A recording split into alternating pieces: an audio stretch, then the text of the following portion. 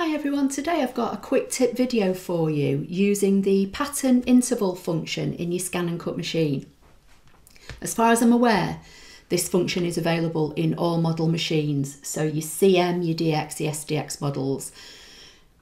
And here on my desk, just to show you, I'm going to show you on the scan and cut machine, but this, this is kind of hopefully just a bit of a visual. So your pattern interval default setting is one in your machine.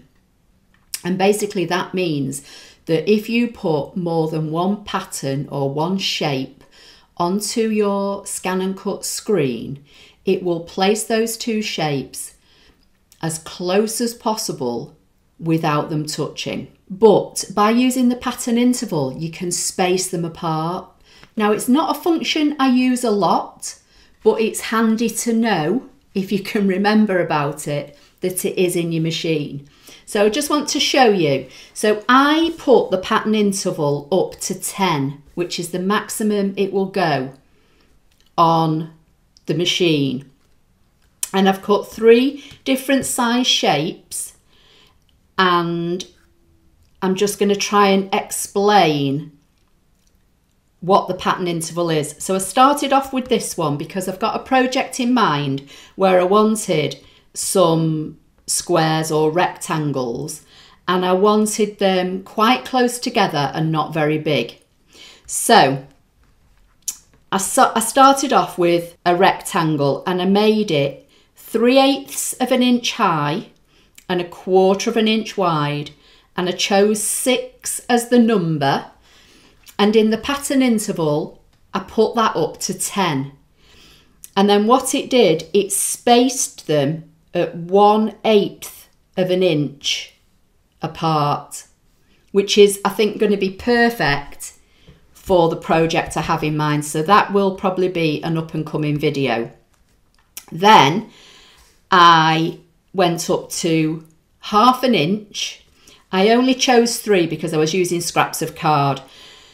So these are half an inch square, again on pattern interval 10. And this time with pattern interval 10, it spaced them at three quarters of an inch apart. Then I chose the, a square again and I made the square three quarters of an inch in size. Again, I only chose three because of the scrap of card I had.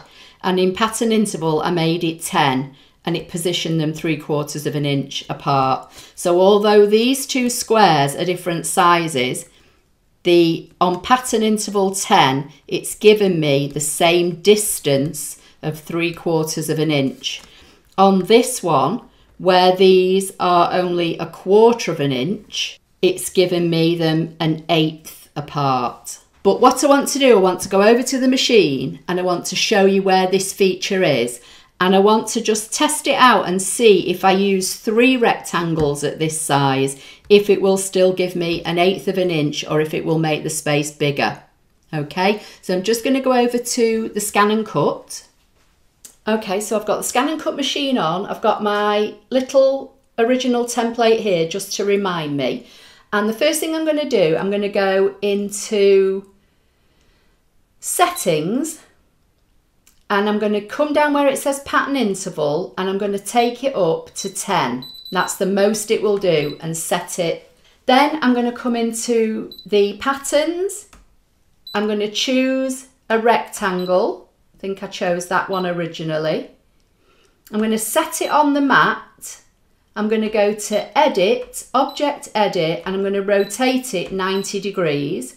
Say OK, and then I'm going to come to the resize icon I'm going to unlock the aspect ratio. I'm going to make it 3 eighths of an inch high or 0.37 and I'm going to make it a quarter of an inch wide and say OK. I'm going to come into number and I'm going to say I want 3. I did 6 last time. I'm going to say OK. I'm going to select all the boxes, select all my squares come to the directional arrows, come to the alignment function and just align them all up along the top. Now to me it looks as though it's put them the same distance apart so but I'll recap in a minute. You'll you'll probably get a better idea of what I'm talking about when I just show you from the original set screen. But this is how you do it. So I'm going to say OK, OK, and I'm going to zoom in and zoom into 400%. To me, it looks as though they're the same distance apart. So it doesn't seem to matter whether I chose three of them or six of them at this size. It's put them an eighth of an inch apart at pattern interval 10.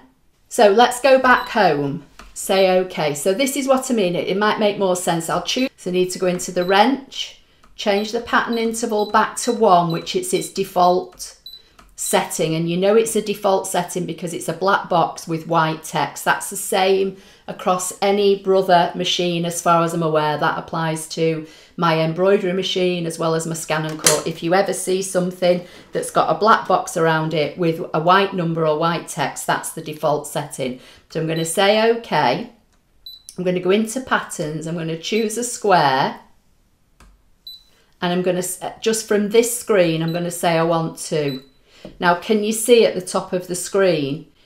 It always puts your first shape in the top left from that initial choosing screen and it's put the second one as close as it can possibly get it if I zoom in. You see, it's as close as it can possibly get it without it touching. So that's pattern interval. So just have a play with it. Um, as I say, I have got a project in mind where I wanted some holes cutting in something quite close together and at a relatively small size.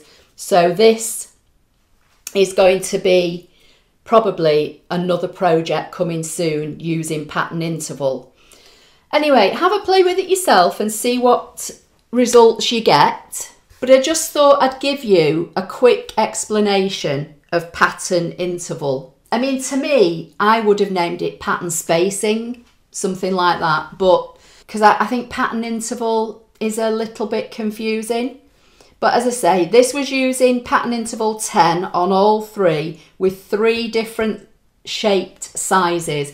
But you can adjust the distance between your patterns anywhere between the default number 1 and 10. So just have a play around with it. As I say, if if you may be cutting fabric and you want to space your shapes a little bit further apart. You know, if you may be cutting squares to do some quilting and you're not using one of the quilting designs in the machine and you're going to be cutting them obviously in fabric, but you're a, a bit worried about them being so close together, then just go into the pattern interval and take that number up and, you know, see what works best for you. But that was just a quick explanation of pattern interval. So I hope it was helpful. Please give the video a thumbs up Please subscribe if you're not already subscribed. It really does help my channel get put out there so more people that are in need of help can find it. Thank you for that and I'll see you in the next video.